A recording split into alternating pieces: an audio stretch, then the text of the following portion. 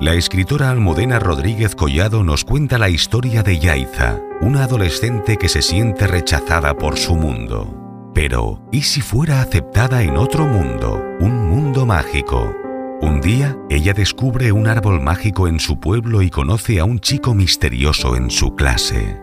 Tanto el árbol y el chico esconden algo que cambiará su vida por completo.